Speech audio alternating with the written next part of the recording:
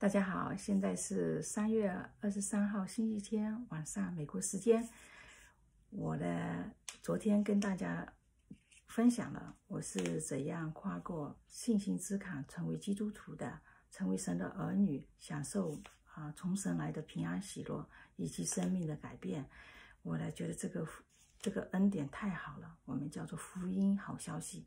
我真的是巴不得每个人我认识的人。都得到这份恩典，这份福音，成为神的儿女。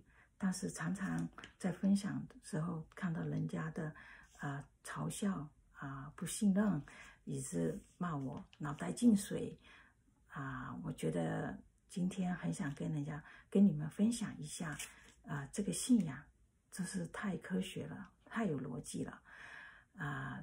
我们所信的这个神呢，是一个宇宙创造的主。他是公义的、慈爱的，又是圣洁的神。那么我们呢？相反的方向，相相相对的来说，我们是一个罪人、污秽的，因为我们真的是，呃，从心里到处都充满这个自私、恼怒、纷争各种的罪。这个罪就是神所说的原罪，也是我们从小就看到的一个罪。我们不能否认，对吧？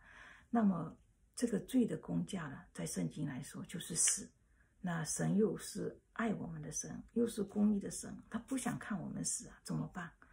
他在这难两难之中，他找出了一个这个救赎的办法，就是派他自己没有罪的儿子独生儿子耶稣，道成肉身来到世上，替我们上十字架，当帮我们付这个。这个代价，以致我们的罪得赦免。那么，如果你承认他，啊，承认耶稣是神的儿子，愿意接纳他成为他的救你生命的主，那么你就成为神的儿女，就这么简单，你罪就赦免。那这个这样的好消息，你说是不是？我要传给你吗？如果不传，真的是有祸，因为我不能一个人上天堂。将来我们不仅啊，我们信，呃，成为神的儿女，不仅呢，今生得到平安喜乐，那也白白的得到了永生。那你想想，前段时间，啊，这个李文亮，啊，成为吹哨人，大家都觉得如果听他的就好了。那我现在也想。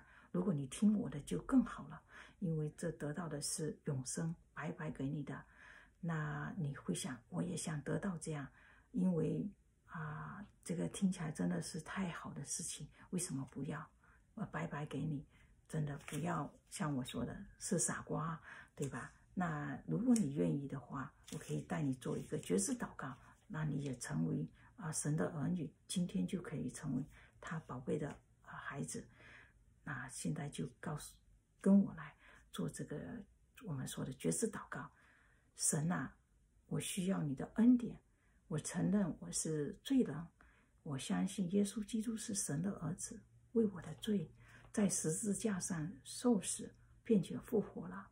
我现在打开心门，接受耶稣基督做我的救主和生命的主。感谢你赦免我的罪，便赐给我永生。奉耶稣基督的圣名祷告，阿门。